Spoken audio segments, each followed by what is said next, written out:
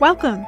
Come gather around the campfire and let me tell you a story. Today I'm going to be talking about the radioactive story of Louis Slotin, Harry Daghlian, and the Demon Core of Los Alamos. Los Alamos National Laboratory was hidden in the deserts of New Mexico, a secret place where scientists from the Manhattan Project worked on the world's deadliest weapon, the atom bomb.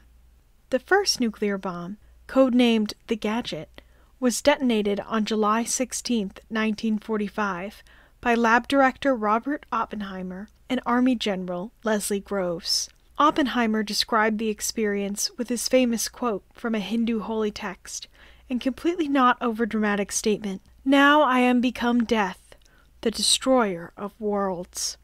The two nuclear strikes on Hiroshima and Nagasaki, with the bombs nicknamed Fat Man and Little Boy, killed over 200,000 people less than a month later, August 9, 1945.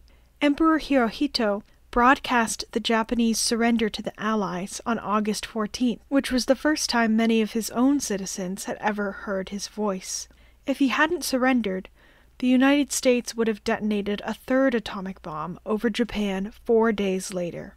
But with this plan halted, the core of the unused bomb was saved for testing, all dressed up, nowhere to go. Even though it wasn't used for the war, it would still find an opportunity to take human lives. This core made of the radioactive man made material plutonium, secretly discovered and kept hidden until after the war. And this particular core was codenamed, and I'm 100% serious about this, Rufus. He would later earn the more fitting title of the Demon Core, for reasons we'll get to shortly.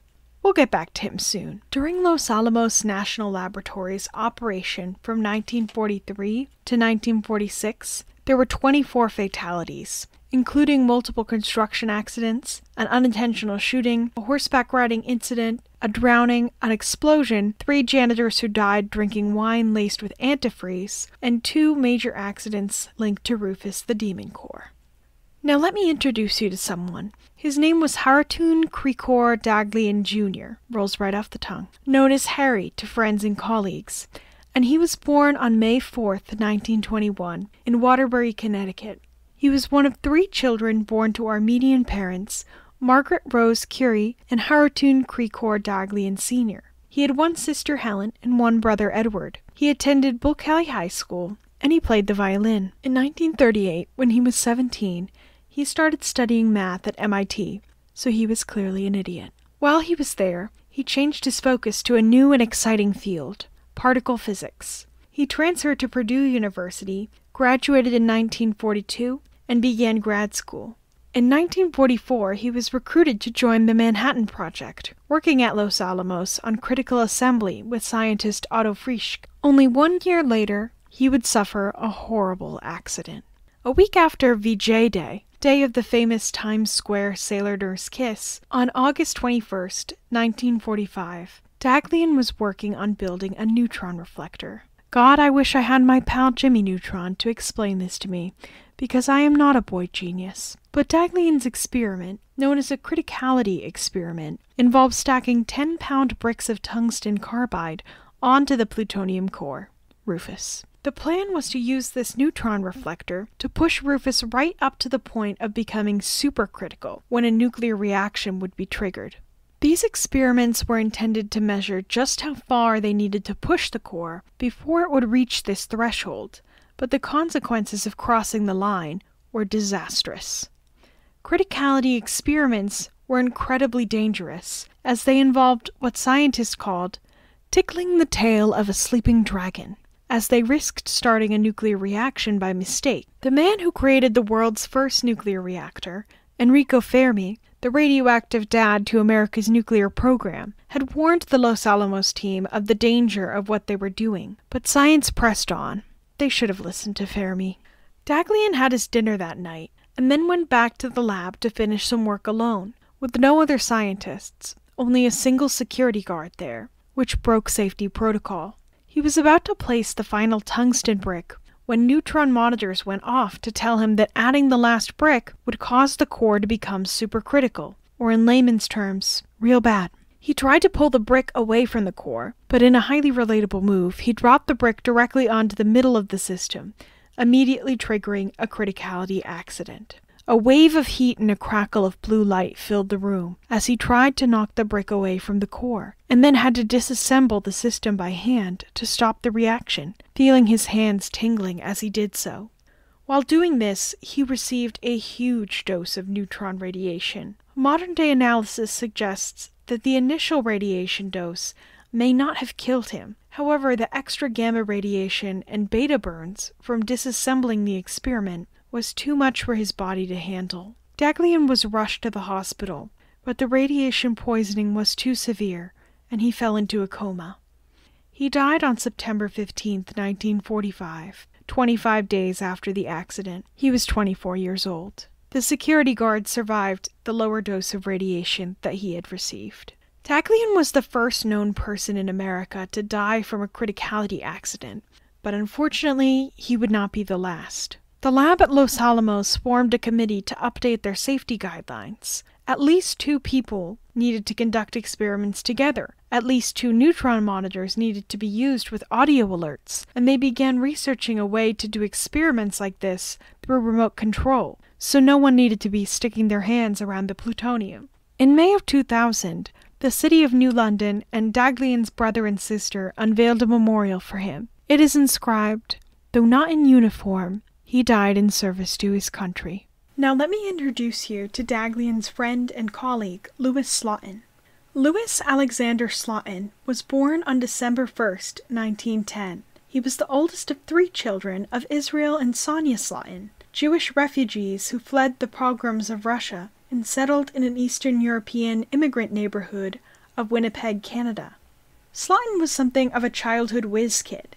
His brother Sam would recall years later that Slotin had an extreme intensity that enabled him to study long hours, which I simply can't relate to, but Sam also remembered that Slotin would make him play games with his friends so he could be left alone to study. He started college at the University of Manitoba when he was only 16 years old, showing up our boy Daghlian, the 17 year old college freshman, and earned a university gold medal for physics and chemistry.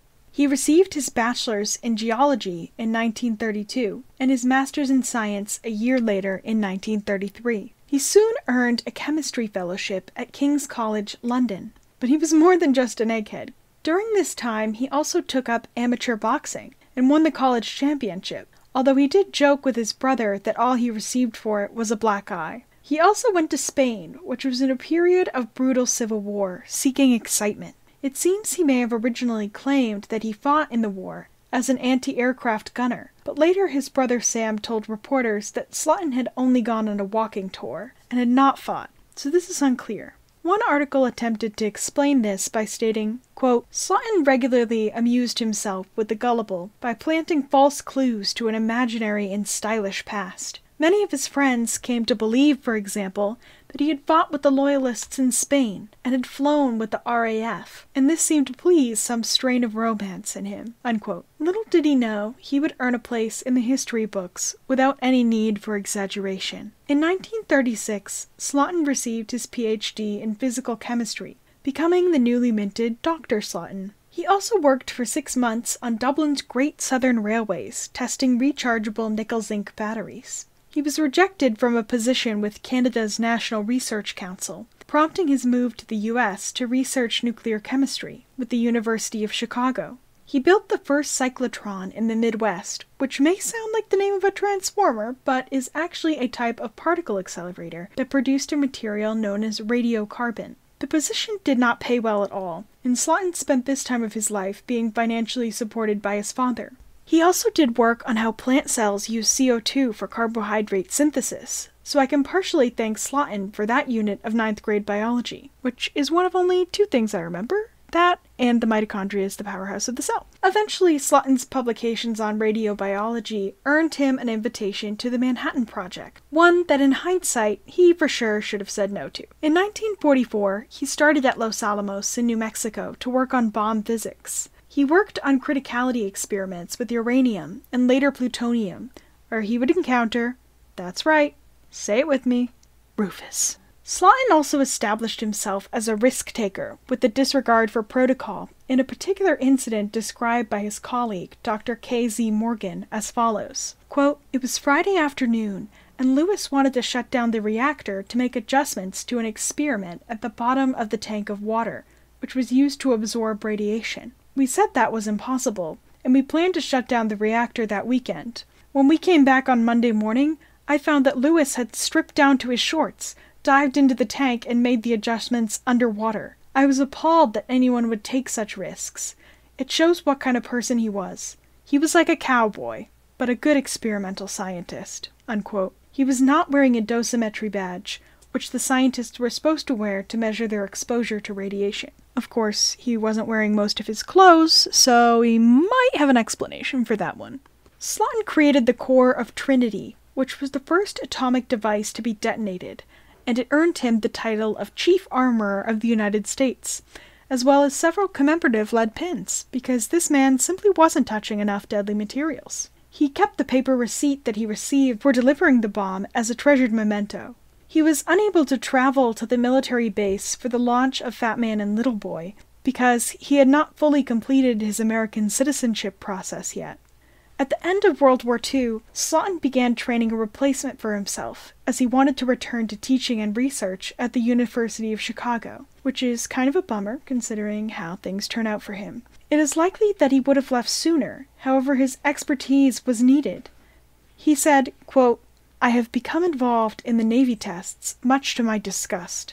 I am one of the few people left here who are experienced bomb putter togetherers, which is a title I would love to drop on LinkedIn and his desire to leave was hastened by the fact that Slotin was uneasy about his participation in projects that caused such devastation during the war. It may have also been sped along by his upset over his assistant and friend Daghlian's death, but if that accident was a sign to run from Los Alamos, Slotin didn't heed the warning quick enough. Let me take you to May 21st, 1946, six months after Daghlian's death. Slotin was demonstrating an experiment for seven of his colleagues. He had Rufus the demon core, which radiated a constant warmth from its radioactivity, on a table in the center of the room. The plan was to create the first step of a fission reaction by slowly lowering a hemisphere of beryllium onto the 14 pound plutonium core that had killed Harry Daghlian a year before. This dome, called a tamper, acted like the bricks Daghlian had used to reflect neutrons back at Rufus. But it was vital that the tamper never completely covered the core to allow a gap for some neutrons to escape. Slotin was holding the tamper with his left hand through a thumb hole in the top, and was keeping the hemispheres separate from each other with the blade of a screwdriver held in his right hand. Shockingly, this was not official protocol, as metal shims were usually used instead, but they had been removed. But then, at exactly 3:20 p.m., the screwdriver slipped, the hemisphere fell, and there was an instant burst of radiation. According to eyewitness reports, the room began to glow blue with ionization, and there was a wave of heat just like Daghlian's accident. A sour taste filled Slotin's mouth, and his left hand began to burn. Slotin shielded his colleagues with his body and tried to end the reaction. An eyewitness said, quote, the total duration of the flash could not have been more than a few tenths of a second. Slotin reacted very quickly in flipping the tamper piece off, unquote, but it was already too late. According to another scientist in the room, Slotin knew the consequences of what he had done. He had stayed by his friend Harry Daghlian's side in the hospital as he suffered from radiation poisoning, and when the blue glow of the room had faded, Slotin's first words were, Well, that does it. On his way to the hospital, Slotin also told a colleague, You'll be okay, but I think I'm done for. The security guard, Private Patrick Cleary, fled the room in terror while the room flashed and the scientists began to yell. The lab was evacuated and the scientists gathered outside to wait for ambulances to arrive. He recalled what happened as follows quote, After the accident, I ran out the east door and down the ramp. Probably took me about five seconds or so. When I got to the gate, it was still locked, and Mr. Klein, Selesky, and myself were the only ones there. Mr. Klein told the MP to open the gate. He had some trouble getting his whistle out of his pocket, but when he did, He opened the gates and then blew the whistle. I ran up the hill approximately 1,000 feet with the others. Pretty soon, Dr. Slotin and Mr. Young came out. Mr. Young called and told us to come down to the laboratory again. As soon as we got there, we drew a diagram to figure out approximately where everyone was when it happened. The only other conversation, everyone was wondering who had gotten most of the radiation. Unquote. Slotin also tried to use a radiation detector on several objects in the room with them, including a Coca Cola bottle and a bristle brush. However, the detector itself was contaminated with radiation, so the readings were not accurate. Luckily, a tool existed for this exact purpose. Film dosimetry badges were worn by Los Alamos scientists to measure people's exposure to radiation during an accident exactly like this. Unluckily, not a single person in the room was wearing their badge which was another break of protocol. A confused and sick Slotin sent one of his colleagues back into the contaminated lab to take the badges out of the locked lead box that they were in, but they were unusable. Slotin likely would have known this, but as a later report highlighted, after an exposure like this, people, quote, are in no condition for rational behavior, unquote. Slotin began vomiting immediately when he left the building and continued to do so throughout his first day in the hospital. When he arrived, he reiterated his sense of doom to colleague Alan Graves, saying, quote, I'm sorry I got you into this. I'm afraid I have less than a 50% chance of living. I hope you have better than that. Unquote. On the second day, his condition actually seemed to get better, but on the third day, his condition steeply declined. The hand that had been holding the core became a waxy blue and blistered, and the doctors kept it packed in ice. He suffered intestinal distress, reduced urine output, swollen hands, erythema, blisters covering his arms, intestinal paralysis, and gangrene. The radiation throughout his body was described by a medical expert as a three dimensional sunburn. Slotin made sure that while he was suffering the effects of the radiation poisoning, the doctors and scientists with him were using it as an opportunity for case study. He repeatedly discussed his test results with the doctors and nurses. General Leslie Groves, the same man who had been with Oppenheimer at the detonation of the gadget, was sent to retrieve Slotin's parents from Winnipeg, and they arrived on day four. By day five, his white blood cell count dropped severely, and by day seven, he was confused, his lips turned blue, and he was placed in an oxygen tent. He fell into a coma and died nine days after the accident, on May 30th, 1946 at age 35.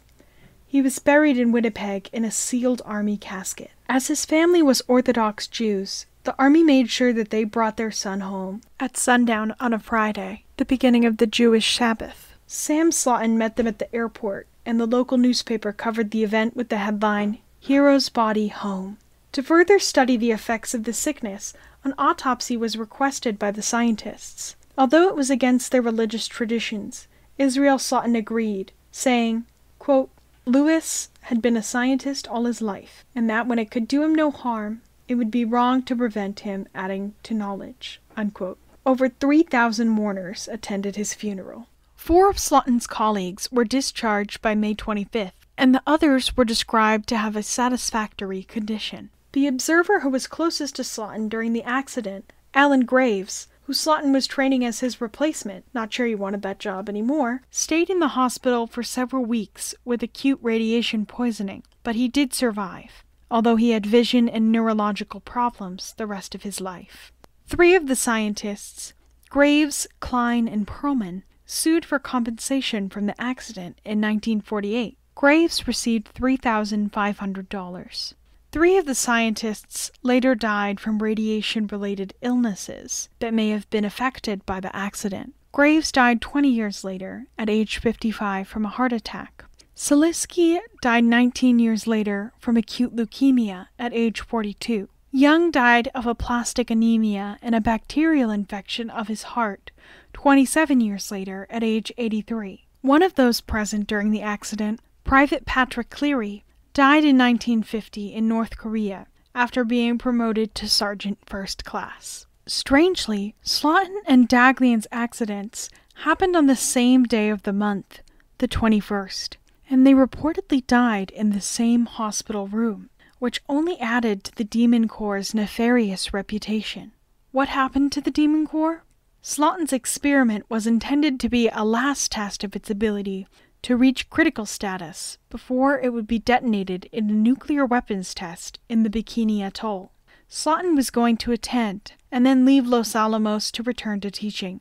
After the accident, Rufus's detonation was rescheduled to give it time to cool down, but it was eventually melted down in 1946 and returned to the national stockpile. It was very difficult for scientists and doctors to determine how much radiation Slotin, Daghlian, and the others received during their accidents.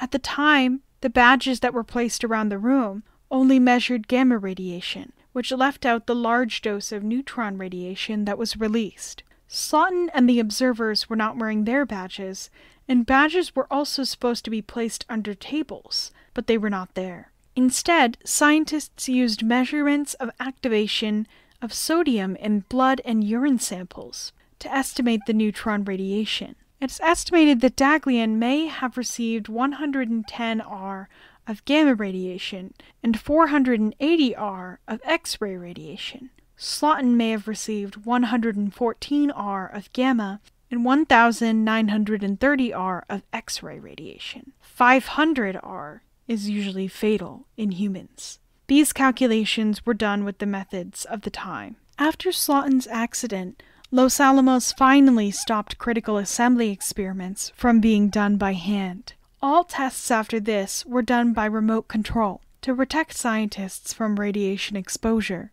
The narrative after the accident was one of Slotin being a hero for removing the hemisphere quickly and ending the reaction protecting the other observers from more serious radiation exposure. A quote from the time stated that, quote, Dr. Slotin's quick reaction at the immediate risk of his own life prevented a more serious development of the experiment, which would have certainly resulted in the death of the seven men working with him, as well as serious injury to others in the general vicinity. Unquote.